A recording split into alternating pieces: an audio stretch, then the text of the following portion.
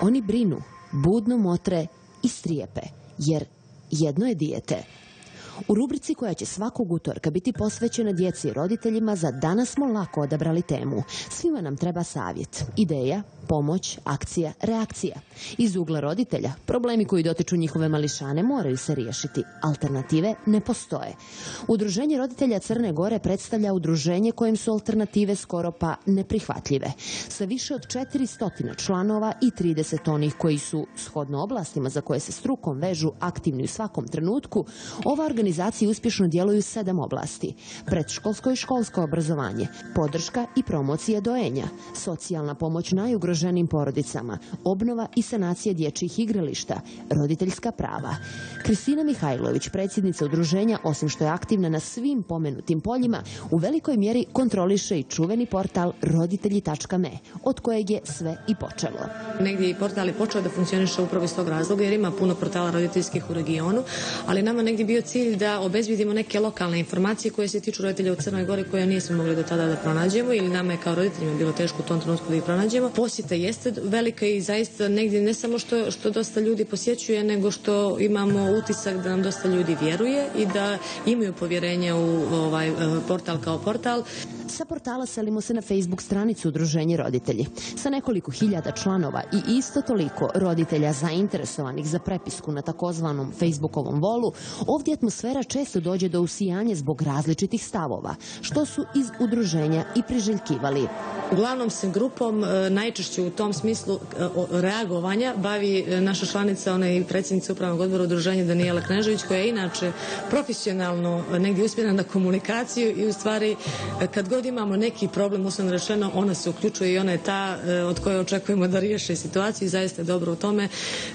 Ima uvijek nezadovoljnih, ima uvijek oni koji misle drugačije. Suština jeste u stvari da, da čujemo drugačije mišljenje. Ne bi ni bilo dobro da ovaj, svi mislimo isto, ali e, ponekada u komunikaciji možda nismo baš e, to odradili kako treba i ovaj, ne možemo se pohvaliti u nekim situacijama znači kako se odreaguje, ali prosto e, Facebook inače i društvene mreže su mjesta na koje možete da napišete uvijek što god želite, a opet onaj ko moderira ima pravo i mogućnost da u skladu sa svojim pravilima odreaguje.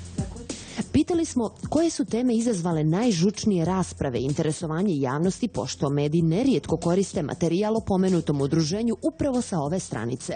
Tema koja je sticala vakcinisanje, odnosno vakcinacije, koja nije tema jedna, nego je bila više tema ovaj, koje su bile, znači koje su se bavile ne samo tom tematikom, nego inače tom nekom e, potrebom da se e, udruženju kaže da li mi treba da da se bavimo ili ne. I ishrane je jedna, jedna od tema ne samo na grupi udruženja, nego inače nam se čini i na e, portalu i inače kad pričamo o ishrani, ishrana djece je za, i porodice generalno tema koja ima e, puno različitih mišljenja i ovaj, negdje se roditelji možda najbolje ne razumiju u tom segmentu. Kristina priznaje da su ih u početku kategorisali kao nerelevantnu skupinu, ali se situacija nakon nekoliko akcija nevjerovatnom brzinom okrenula u njihovu korist kritikovat ćemo onda kada mislimo treba da se kritikuje, kada roditelji procijeni, kada u stvari zaista e, konkretne situacije dovede do toga da e, su prava roditelja u Crnoj Gori urožene ili da nisu na adekvatnom nivou, ali smo uvijek tu da radimo na rješavanju problema. Dakle, nije da samo kažemo to ne valja i tu je kraj. Uvijek smo tu da se znači ponudimo i da se konkretno uključimo da neke stvari mijenjamo. Istina, ima ih u raznim akcijama i prilično su uključeni društvena zbivanja.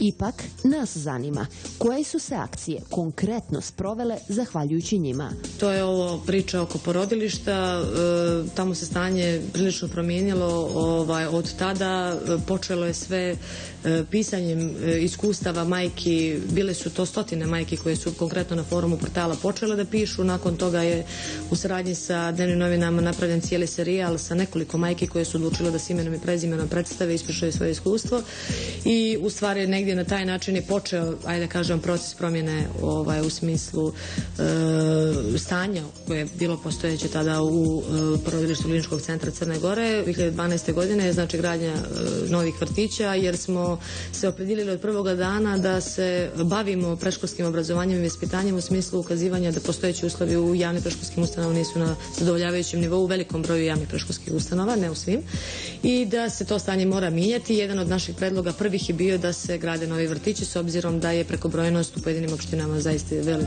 baš onako izražena.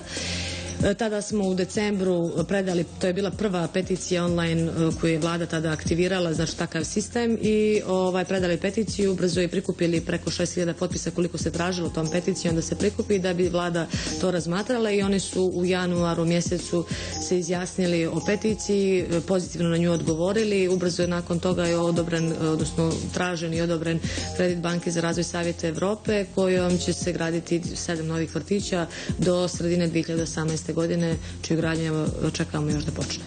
Ovo je bila priča za sve roditelje koje djeci žele što ljepše okruženje za vaspitanje, rast i razvoj. Imamo pravo da tražimo najbolje. To nam poručuju iz Udruženja roditelji u kojem ima mjesta za sve nas kad imamo priliku za to da uradim, da, ako je poruka u pitanju roditeljima, jeste da ih e, pozovem da se uključe, da postanu članovi udruženja roditelji i ne samo da budu redovni članovi udruženja, nego da budu aktivni roditelji, da se pridruže jednoj ekipi koja je mala, ali e, koja je onako vrlo ekspeditivna, operativna i što bi oni rekli luda. Tako da e, pronaći će sigurno vremena, jer svi mi radimo, imamo djecu, imamo porodične obavezne i sve to negdje jeli iziskuje puno vremena, ali pronađe se to vrijeme. Neka dođu pa će da vidjeti da će sigurno da pronađe to vrijeme.